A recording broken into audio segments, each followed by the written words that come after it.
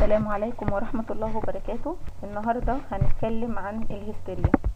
هنتكلم عن تعريف الهستيريا وهنتكلم عن الشخصية الهستيرية وما تتميز به وهنتكلم عن أسباب الهستيريا والتصنيف الإكلينيكي للأعراض الهستيرية اللي هي الاضطرابات التحولية والانشقاقية. طيب أول حاجة هنتكلم عنها هو تعريف الهستيريا. طبعا إحنا كل دوت بنتكلم عن الاضطرابات العصابية. فالنهاردة هنتكلم عن الهستيريا. الهستيريا هي ليها مسمى تاني أو ليها اسم تاني اللي هي اسمها الاضطرابات الانشقاقية والتحولية. تعريف الهستيريا. طبعا الهستيريا هي مرض عصابي زي ما أنا قلت هو مرض عصابي أولي يتميز بظهور أعراض وعلامات مرضية بطريقة لا شعورية.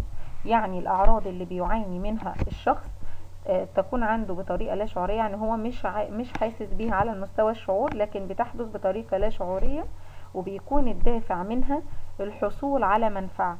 المنفعة هنا مش قصدها أو إحنا مش قصدنا. المنفعة معناها إن هو بياخد فلوس أو بياخد مثلا مكانة اجتماعية أو كده. لا إحنا مش بنتكلم على المنفعة بصفتها المادية. إحنا بنتكلم على المنفعة النفسية. وهنعرف دلوقتي يعني إيه منفعة؟ من الناحية النفسية. منفعة خاصة أو جلب اهتمام.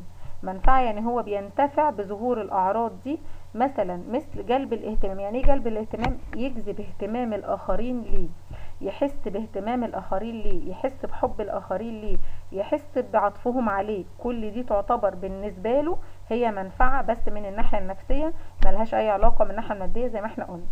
طيب ممكن يكون الأعراض اللي بتظهر على المريض زي ما أنا بقول لجلب منفعة وممكن تكون هروب من موقف معين أو من موقف خطير هو بيعاني منه. أو موقف مثلا إهانة موقف ألم نفسي موقف بيسبب له ضيق أو قلق فبيشعر أو بيجيله الأعراض الهستيرية فبيكون هدفها يا إما منفعة زي ما أنا قلت أو جلب اهتمام أو هروب من موقف أو أزمة معينة هو موجود فيها. ممكن يكون تركيز الاهتمام على الفرد كحماية له من الألم النفسي الشديد. وعادة يظهر المرض ده في الشخصية الهستيرية اللي بتتميز يعني في مميزات للشخصية الهستيرية. يعني مش أي اضطراب نفسي نقول هيجيله هستيريا لأ في مميزات للشخصية اللي ممكن تحصل ليها بعد كده لو اتعرضت لضغط نفسي أو لضغط من البيئة بتظهر عندها مرض الهستيريا. طيب الشخصية الهستيرية دي بتتميز بإيه؟ حتى قبل ظهور الأعراض الهستيرية. زي إيه؟ بتتميز بعدم النضوج الانفعالي. ما بيكونش عندها نضج انفعالي أو ثبات انفعالي مع القابلية للإيحاء. يعني إيه القابلية للإيحاء؟ التأثر بالآخرين. يعني الشخص بيكون عنده لو حد كلمه في أي موضوع يتأثر برأيه بسرعة. ما بيكون دي, دي اسمها القابلية للإيحاء. القابلية للإيحاء هو سرعة التأثر بآراء الآخرين أو باتجاهاتهم أو بمشاعرهم بيتأثر بالآخرين. ولا يعني ذلك إنه لا تظهر في الشخصيات الأخرى.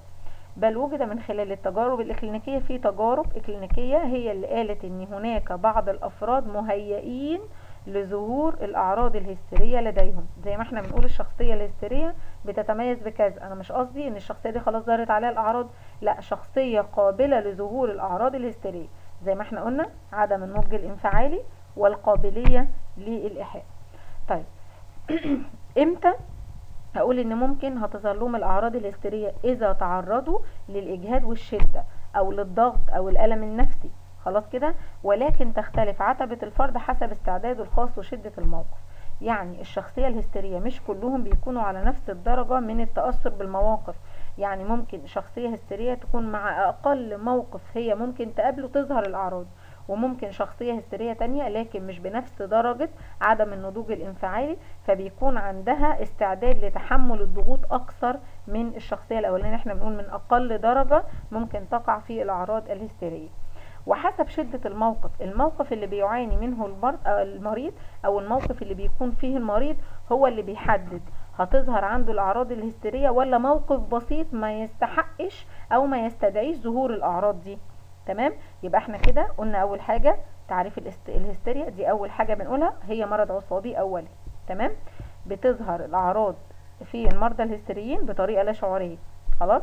طيب أدي تاني حاجة. تالت حاجة الدافع من ظهور الأعراض الهستيرية الحصول على منفعة أو جلب اهتمام أو هروب من موقف معين خطير يسبب له ألم نفسي أو ضيق نفسي أو أو قلق. خلاص؟ طيب. قلنا كمان إن الشخصية الهستيرية آه، تتميز ببعض الأعراض اللي إحنا ممكن نقول إن الشخصيات دي ممكن تقع إنها تكون شخصية هستيرية إذا تعرضت للضغط النفسي أو الألم أو الإجهاد والشدة من البيئة. وقلنا بتتميز الشخصيات الهستيرية دي بعدم النضوج الانفعالي مع القابلية للإيحاء. خلاص؟ ده كده الجملة اتكلمنا عنه. بعد كده هنتكلم عن الشخصية الهستيرية وإيه مميزات الشخصية الهستيرية. يعني الشخصية اللي بتظهر لديها الأعراض الهستيرية أو الشخصية اللي عندها استعداد لظهور الأعراض الهستيرية تتميز ببعض الخصائص خلاص؟ مش هنقول بقى مميزات لأن دي مش مميزات. خلاص هنتكلم عن خصائص الشخصية الهستيرية وما تتميز به. أول حاجة عدم النضج الانفعالي عدم النضج الانفعالي يعني الشخص لو واجه موقف بسيط يحصل عنده إثارة بشكل أنت مثلا واجه موقف لا يستحق مثلا الغضب الشديد ده أو الحزن الشديد ده أو الفرح الشديد ده تلاقيه انت نفسك بتقولي أو أنتوا نفسكم لما تشوفوا الشخصية دي تقول إيه تحسوا ان هو over في انفعالاته. over في انفعالاته معناه ان عدم النضج الانفعالي أو عدم تناسب الانفعال مع الموقف. طيب الانبساط الانبساطية في المزاج. الانبساطية في المزاج يعني شخص منبسط بيتكلم مع ناس كتير وليه علاقات كتير بيتكلم مع أي حد بيقابله ويضحك مع أي حد يقابله هو ده الانبساط خلاص إحنا طبعا لما كنا في المحاضرات كنت معاكم ان كنتوا فاكرين إن أنا كنت بقول لكم إن في سمات في في حاجة اسمها الانطواء في الاكتئاب في الانسحاب. ده الانبساطية عكس كل السمات اللي أنا كنت بقولها لكم الانطواء الانسحاب أو الاكتئاب. عكسه الانبساطية. الانبساطية في المزاج يعني شخص مرح فبيتكلم مع ناس كتير له علاقات اجتماعية كتير. القابلية للإيحاء دي برضو أنا لسه قايلها لكم من شوية إن سرعة تأثر الشخص بآراء الآخرين وأفكارهم واتجاهاتهم تمام؟ ده يعتبر أقل قدر ممكن أنا ممكن أعبر بيه عن القابلية للإيحاء. سرعة تأثر الشخص أو قابلية تأثر الشخص بآراء الآخرين واتجاهاتهم وانفعالاتهم تمام؟ طيب رابع حاجة الأنانية مع حب الظهور. تلاقي الشخصية الهستيرية أو تلاقوا الشخصية الهستيرية آه تتسم بالأنانية. يحب نفسه قوي. ويحب أنا بقول مع حب الظهور مش حب الظهور بأي شكل لا ده حب الظهور إن يكون هو أحسن واحد موجود. أو يجذب انتباه الآخرين كلهم ليه. يبقى هو أناني. دي أول حاجة أنانية. بيحب نفسه ويحب مصلحته الشخصية. كمان بيحب إن هو اللي يبقى جاذب اهتمام الآخرين. عايز إن هو أكتر واحد ظاهر في المجموعة. تمام؟ لو هو موجود في وسط زمايله لو موجود في وسط قرايبه لو موجود في وسط اخواته لو موجود أي سيان بيحب إن يكون هو اللي جاذب الاهتمام ويكون هو اللي ظاهر في وسط المجموعة اللي هو موجود فيها. خامس حاجة عندنا الشخصية الهستيرية بيكون عندها عدم تحكم في الانفعال ما يقدرش يتحكم في انفعاله. زي ما أنا قلت لكم من شوية هو ده متقارب جدا مع سمات أو مع السمة بتاعته اللي هي عدم النضوج الانفعالي. طيب عدم التحكم في الانفعال يعني ممكن موقف هو بيتعرض ليه ما يقدرش يتحكم في انفعاله. زي مثلا طالبة قدامي بقول لها لا انت بتعملي كده ليه؟ انت بتتكلمي ليه؟ اطلعي بره. ممكن هي تقول لي انت بتطرديني ليه؟ ممكن ترد عليا بشكل مش كويس قوي تتكلم بس ما تقدرش تتحكم في انفعالاتها وتيجي بعد كده تبدأ تقول وأنا قلت كده ليه؟ لأ أنا غلطانة. نفس الموقف ممكن ت... الموقف ده يتكرر مع الأب مع الأم مع حد كبير تقول لأ أنا غلطانة. طب وأنا ما عرفتش أمسك نفسي. هي دي بقى كده. التحكم في انفعالي التحكم في تصرفاتي التحكم في سلوكي. تمام؟ عدم التحكم ما تقدرش تتحكم في سلوكها. تلاقي بصرف يعني أول ما تواجه موقف تلاقيها مندفعة تندفع في انفعالها. ممكن بعد كده لما تفكر تقول مثلا لا أنا يا ريت ما كنت عملت كده أنا ما اتحكمتش بشكل كويس خلاص؟ طيب الاستفزاز الجنسي. من سمات الشخصية الهستيرية الاستفزاز الجنسي اللي هو أنا لسه بقول لكم من شوية حب الظهور. الاستفزاز الجنسي يعني البنت تحب تلبس لبس يسي يعني يزيد أو يزيد من تركيز أو يجذب الجنس الآخر.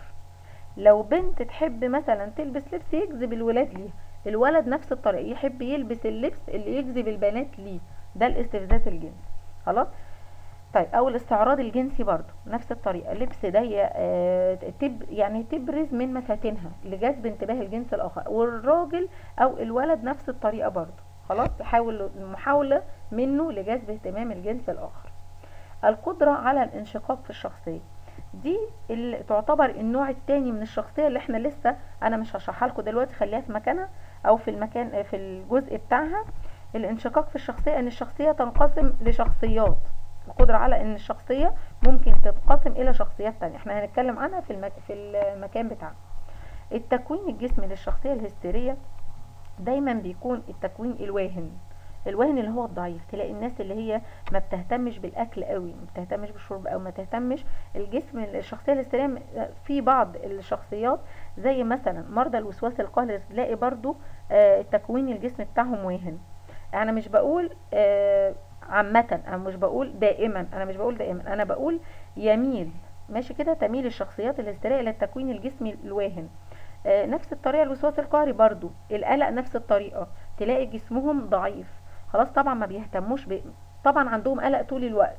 ما بيهتموش بالناحية بناحية إن هو ياكلوا كتير. طيب مرضى الاكتئاب العكس لما نيجي الاكتئاب هنتكلم وهنعرف إن التكوين الجسمي لمرضى الاكتئاب هو التكوين البدين يعني معظم مرضى الاكتئاب هو تكوينهم الجسمي بدين اللي هم بيكونوا تخان شوية. لكن الشخصية الهستيرية الوسواس القهري اضطراب ما بعد الصدمة القلق كل دول تعتبر بنسبة كبيرة جدا منهم تكوين الجسم الخاص بيهم بيكون التكوين الواهن خلاص تمام؟ طيب. طبعا العمر بيتدخل بنسبة كبيرة جدا في الإصابة بالأمراض الهستيرية أو بالإصابة بمرض الهستيري. خلاص؟ دايما لو أنتوا جينا نتكلم وقلنا عدم النضوج الإنفعالي الانبساطية في المزاج القابلية للإيحاء الأنانية مع حب الظهور لو أنا جبت لك الكلام ده كله قلت لك عدم التحكم في الانفعال استفزال هل أنا لما أجي أقول لك كل الأعراض اللي بتتميز بيها أو أقول لكم الأعراض دي كلها اللي بتتميز بيها الشخصية الهستيرية أقول طفل؟ ما ما أقولش طفل صح كده؟ هتلاقي استمات أو المميزات أو خصائص الشخصية الهستيرية كلها بتيجي بداية من مرحلة المراهقة فما فوق. يعني بداية من مرحلة المراهقة ثم ثم ثم ثم. خلاص؟ معنى كده اني ما نقولش طفل هستيري. لا هتلاقي الشخص الطفل الصغير اللي بيعاني من الحاجات دي كلها ممكن له تقسيم آخر زي مثلا ال hyperactive أو فرط الحركة. دي ده اضطراب تاني خالص ملوش علاقة بالجزء اللي إحنا بنتكلم فيه. لكن ما ينفعش أقول طفل صغير أقول ده شخصية هستيرية. الشخصيه الهستيرية العمر طبعا لو أنا جيت قلت زي ما أنا بقول لكم كل الخصائص أو كل السمات اللي بتتسم بيها الشخصية الهستيرية هتلاقيها تنطبق على مرحلة المراهقة فما فوق. خلاص كده؟ طيب الشخصية الهستيرية دايما أنا كنت بقول لكم في المحاضرات إن الاضطراب العصابي أنا برضو برجع تاني وراجع لكم بعض الحاجات اللي أنا كنت بقولها معاكم في المحاضرات. لما إحنا جينا وقارنا بين الاضطراب العصابي والاضطراب والاضطراب الذهاني تمام؟ كنت بقول لكم دايما إن العوامل الوراثية أو العوامل العضوية أو العوامل البيولوجية العوامل الحيوية كنت دايما بقول لكم العوامل دي بتكون مؤثر في الشخصية العصبية ولا الذهانيه هي للأم... للشخصية الذهنية. لكن لو إحنا جينا فاكرين برضو كنت بقول لكم الاضطرابات العصبية أكثر مؤثر فيها هو الضغوط البيئية العوامل البيئية الضغط والألم النفسي اللي بيعيشه الفرد في البيئة الشعورية بتاعته. خلاص؟ لكن لو جينا نقول أو لا شعورية سيان بس إحنا كنا بنقول بفكركم ان الفرق بين الاضطراب العصبي والذهاني الاضطراب الذهاني أكثر أسباب فيه أو النسبة الأكبر للأسباب بتاعته أو العوامل بتاعته بتكون حيوية بيولوجية عضوية تمام كده عقلية تمام خاصة بالغدد والهرمونات وتركيب المخ وهكذا. لكن الاضطرابات العصبية النسبة الأكبر في تأثيرها أو في سببها هي الضغوط البيئية. وبرضو لو كنتوا فاكرين كنت بقول لكم الاضطرابات العصبية.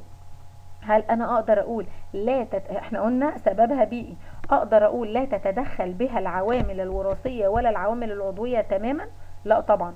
فاكرين لما كنت بقول لكم لو أنا قلت مثلا إن العوامل البيئية بنسبة 75% العوامل الحيوية والبيولوجية والعضوية والعقلية بنسبة 25 معنى كده إن في تدخل للعوامل لكن النسبة الأكبر للعوامل البيئية. والعكس صحيح بالنسبة للاضطرابات الذهنية أو العقلية. تمام؟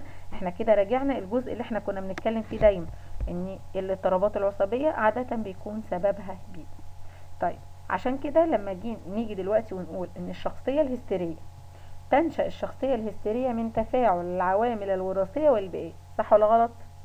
صح. طيب لو أنا قلت لك تنشأ الشخصية الهستيرية أكثر من العوامل الوراثية لا من العوامل البيئية سببها الأول بيئي ثم العوامل الوراثية. خاصة علاقة الفرد بالوالدين وخاصة الجنس الآخر. يعني إيه إحنا جينا كده وقلنا إن العوامل الوراثيه وجينا قلنا العوامل البيئية. طب العوامل البيئية هل علاقة الطفل أو علاقة بلاش الطفل بقى إحنا قلنا خلاص ده مش طفل. علاقة الفرد بمين؟ أكتر حاجة مؤثرة عليه من الناحية النفسية علاقته بالوالدين. طيب الوالدين الاتنين مع بعض قالك لا الدراسات قالت إن خاصة الجنس الآخر يعني البنت تتأثر بشكل كبير جدا بباباه والولد يتأثر بشكل كبير جدا بالأم. خلاص؟ يبقى علاقة الفرد بالوالدين وخاصة الجنس الآخر هو مؤثر قوي جدا من الناحية البيئية على الشخصية أو ظهور الأعراض الهستيرية. طيب هذه الشخصية هي حصيلة التخلف والفشل في عملية النضوج الانفعالي لما تيجي تلاقي شخصية هستيرية تعرفي إن اتعرضت كتير لمواقف ضغط نفسي قوي لكن هي عشان ما عندهاش النضج الانفعالي وما عندهاش الثبات الانفعالي صح كده؟ ما قدرتش تتغلب على الموقف فظهر عندها الأعراض الهستيرية. لأن إحنا قلنا عدم النضج الانفعالي من سمات الشخصية الهستيرية. تمام؟ يبقى الشخصية دي لو عندها نضج انفعالي كانت هتقدر تتحكم في العوامل الضاغطة عليها من الناحية البيئية وكانت هتقدر تتكيف مع المجتمع. لكن عشان ما عندهاش نضج انفعالي فمع أقل ضغط ممكن من البيئة تقع مع الأعراض الهستيرية أو تظهر لديها الأعراض الهستيرية. طيب. لا نستطيع اعتبار الشخصية مرضية في حد ذاتها. إحنا ما نقدرش نقول إن الشخصيات الهستيرية لازم تدخل مستشفى نفسية. لازم تتحجز في مستشفى نفسية. ما ينفعش تتعامل مع المجتمع. لا. هو الشخص ده بيقدر يتعامل مع المجتمع لكن هو من نفسه بيكون لديه بعض الضغوط ولديه بعض القلق والأعراض اللي بتحصل له وخاصة الأعراض الجسمية اللي إحنا من شوية كده وهنقول عليها. الأعراض الجسمية اللي بتظهر عنده أمام الآخرين هي دي اللي بتؤدي ليه إلى القلق الزائد أو الإحراج أو نتيجة وجود الأعراض دي. هو يعتبر هو شكل غير طبيعي أو الأعراض اللي ظهرت عنده بتكون شكل غير طبيعي للناس الأسوياء. خلاص؟ هي دي بس اللي بتخليه دايما هو في قلق مستمر. نتيجة ظهور الأعراض الهستيرية عنده. أنا ما أقدرش أحدد مدى انتشار. لو أنا قلت لك مثلا يمكن أن أحدد أو يمكنني أن نحدد مدى انتشار الشخصيات الهستيرية بين أفراد المجتمع. لا أنا ما أقدرش أحددها. ليه؟ حاولوا تفكروا كده شوية. ليه أنا ما أقدرش أحدد مدى الانتشار؟ ما أقدرش أحدد نسبة. ما أقدرش أحدد عدد للشخصيات الهستيرية بين أفراد الشعب أو بين أفراد المجتمع. ليه؟ أنا من شوية قلت لكم إن الشخصية الهستيرية يمكن أن تتكيف مع المجتمع دون الرجوع إلى المستشفى النفسي أو العيادات النفسية صح؟ معنى كده إن هم موجودين وسط المجتمع وسط أفراد المجتمع لكن مش بيتوجهوا لأي عيادة نفسية أو مستشفى نفسية عشان أحدد أعدادهم تمام كده؟ هو ده اللي يخليني ما أقدرش أحدد مدى انتشار أو نسبة معينة لظهور الشخصيات الهستيرية في المجتمع المصري. خلاص كده؟ طيب. في احتمال بيقول ان هناك احتمال إن نسبة الشخصيات الهستيرية في المجتمع المصري هي عشرة في المية. خلاص كده؟ في النسبة بتقول كده. يعني أنا لو جيت أنا ممكن طبعا أنا متفقه معاكم من البداية إن هيكون الامتحان إلكتروني. يعني هيكون صح وغلط واختياري. يعني أنا ممكن من خلال الكلام اللي أنا بقوله زي ما أنا لسه قايلة لكم من دلوقتي سؤال هل الشخصية الهستيرية تأتي أساسا من العوامل الوراثية؟ لا طبعا أساسها بيئي. لكن هناك تفاعل مع العوامل الوراثية. طيب ممكن أجيب لك سؤال تاني وأقول لك مثلا علاقة الفرد بالوالدين آه تؤثر بشكل كبير في ظهور الأعراض الهستيرية. صح ولا غلط؟ طبعا صح. طيب ممكن أقول لك علاقة الفرد بالوالدين وخاصة من نفس الجنس له علاقة قوية بظهور الأعراض الهستيرية. غلط أنا قلت الجنس إيه؟ الآخر. تمام كده؟ طيب ممكن أقول لك الشخصيات الهستيرية تأتي نتيجة عدم النضج الانفعالي صح ولا غلط؟ صح لأن هناك بعض السمات اللي بتتميز بيها الشخصية الهستيرية اللي جعلت الشخص دوت يعاني من الأعراض الهستيرية أو يجيله الأعراض الهستيرية. أنا مش هقدر أقول إصابة لأن هو مش إصابة. تمام كده؟ يعاني من الأعراض الهستيرية. طيب أنا ممكن أجي أقول لك يمكنني تحديد يمكنني تحديد بدقة نسبة انتشار الشخصيات الهستيرية بين أفراد المجتمع. أقدر؟ لا. خلاص كده؟ وطبعا إحنا عرفنا ليه. أنا مش بطلب منك في الامتحان تصحيح الخطأ. ماشي كده؟ أنا ما بطلبش كده. أنا بطلب آه الصح وخطأ بس. ما بطلبش منكم ده. بس أنتوا تبقوا عارفين. أنا ليه ما أقدرش أحدد نسبة انتشار؟ زي ما أنا قلت كده إن الأعراض الهستيرية ما بيضطرش الشخص للتوجه للمستشفيات أو للعيادات النفسية. عشان كده ما أقدرش أحدد نسبة معينة.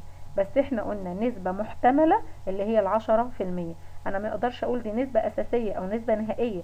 أنا هقول نسبة محتملة. عشرة في المية من المجتمع المصري. طيب.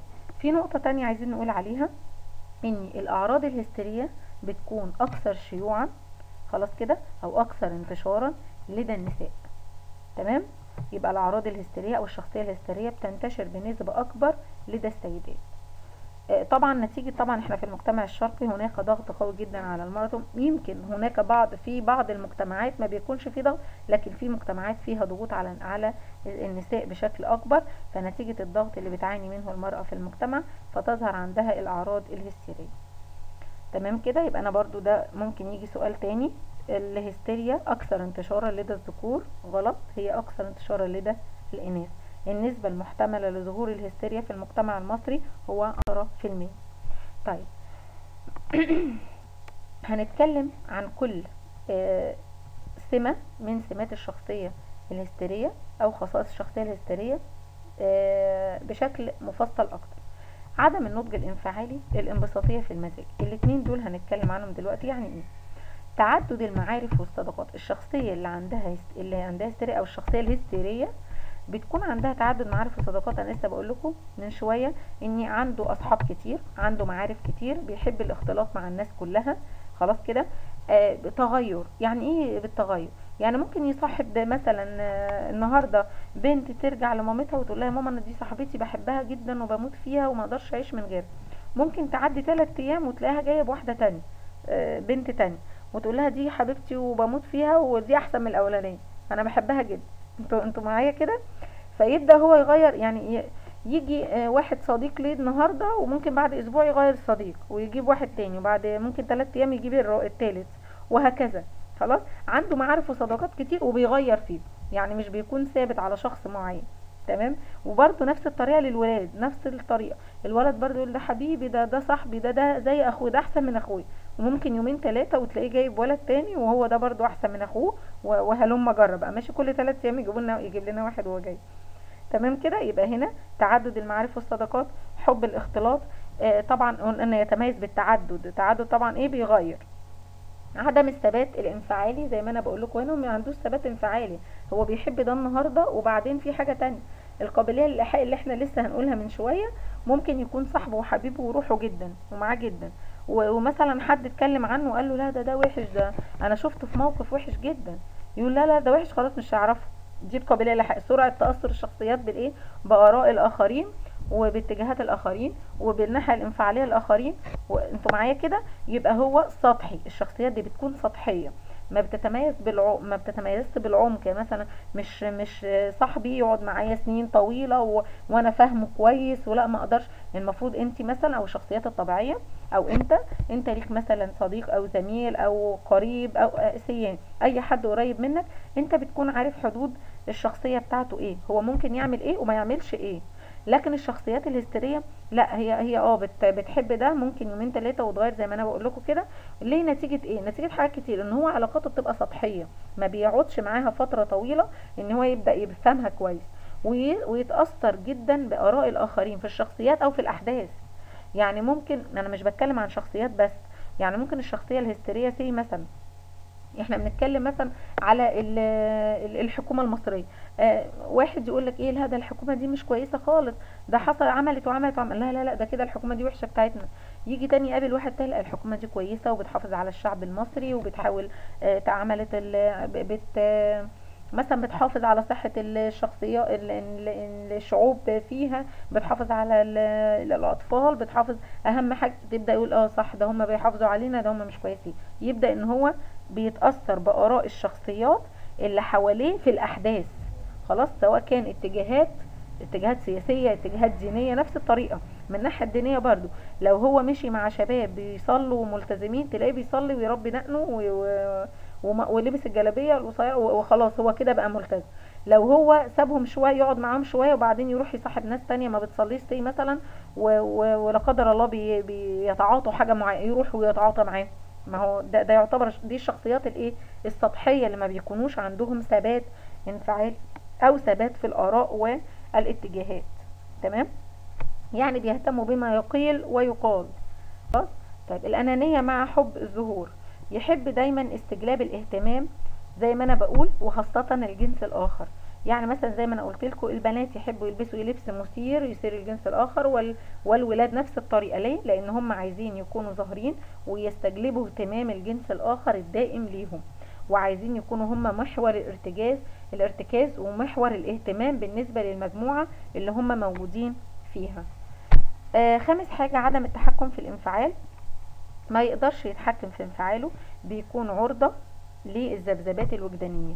يعني شوية هو بيحبه قوي وشوية بيكرهه قوي وشوية هو مبسوط قوي وشوية هو زعلان قوي. ممكن بأسباب بسيطة جدا أو مواقف بسيطة جدا آه، تحسسه إن هو مبسوط ويبقى عنده ذبذبات وجدانية مش ثابت على آه، انفعال معين لفترة طويلة.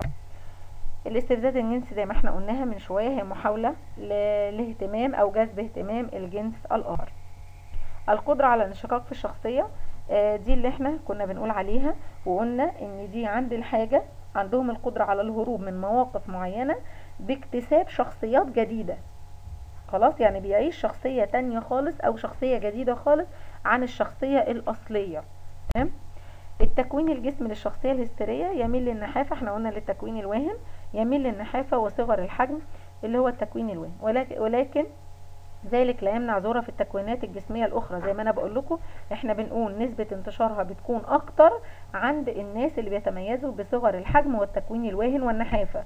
لكن ده مش معناه أبدا إن أنا بقول مية في المية الأعراض الهستيرية بتظهر لدى الأشخاص ذوي التكوين الواهن. أنا ما أقدرش أقول كده. لكن أنا بقول عامة بالنسبة الأكثر بتكون عند التكوين الواهن. لكن ده ما يمنعش ظهورها في التكوينات الجسمية الأخرى. طيب الشخصية الهستيرية بتكون أو تتميز بيها الشخصيات ذوي الذكاء المتوسط. يعني الناس اللي هي عندها آه، ذكاء مرتفع اللي هم اللي بيكونوا عندهم آه، عبق... شخص عبقري شخص موهوب ما تجيلهمش الشخصية أو ما يعانوش من الأعراض الهستيرية. لكن بتكون عند الناس اللي ذكائها آه، متوسط. العمر طبعا زي ما أنا بقول لكم في سن البلوغ. خلاص بتكون موجودة في سن البلوغ. نظرا لعدم النضج الكامل للجهاز العصبي وبتزيد نسبتها في الشيخوخة عندما يبدأ الجهاز العصبي في الضمور.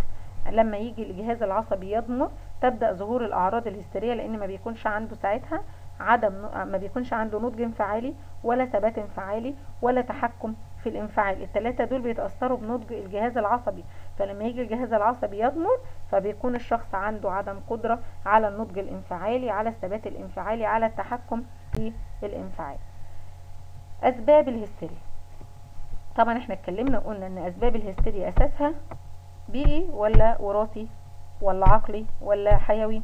أسباب الأسباب الأساسية فيها هي الأسباب البيئية أو الضغوط البيئية. آه هنتكلم عن أسباب الهستيريا من ناحية نظرية التحليل النفسي. هنتكلم عن التحليل النفسي وتفسيرها لظهور الأعراض الهستيرية. قالت إيه نظرية التحليل النفسي؟ قالت إن ال- الأعراض الهستيرية بيكون سببها لا شعوري مش على مستوى الشعور. وبيقول نظرية التحليل النفسي بتقول إن الطفولة بيكون ليها أثر كبير جدا على ظهور الأعراض الهستيرية اللي هو اضطراب الموقف الأذيبي هو أنا مش من شوية قلت لكم إن اضطراب علاقة الفرد بالوالدين له أثر كبير جدا على ظهور الأعراض الهستيرية؟ وقلت لكم خاصة علاقة الطفل أو علاقة الفرد بالجنس الآخر أو ال- الجنس الآخر يعني الولد يتأثر بشخصية الأم وال- والبنت تتاثر بشخصية الأب. لو حصل إن في اضطراب في الشخصية أو اضطراب في العلاقة ما بين ال- الوالدين وبين الأبناء في المرحلة النمائية الأولى في حياته بتقول نظرية التحليل النفسي إن نؤكد أو نحاول إن نقول إن ممكن تظهر الأعراض الهستيرية. يبقى كده التحليل النفسي قالت إن ترجع إلى ميكانيزمات لا شعورية ونتيجة علاقة الطفل بالوالدين في واضطراب الموقف الأديبي لديه. طيب المنحى الفسيولوجي آه، أوضح العلماء قالوا زي بافلوف قال إن المصابين بالهستيريا يتميزوا عن غيرهم بوجود قشرة مخية ضعيفة يبقى معنى كده إن هم بيقولوا إن مرضى الهستيريا مش بس سببهم بيئي لأ ممكن أن تتدخل فيها الناحية الفسيولوجية زي وجود قشرة مخية ضعيفة آه، بتقوم آه، هي ما بتقومش بالدور المهم في كف وإحباط وتنظيم المراكز تحت القشرة في المخ فما بيكونش الشخص قادر على تحكم في انفعالاته.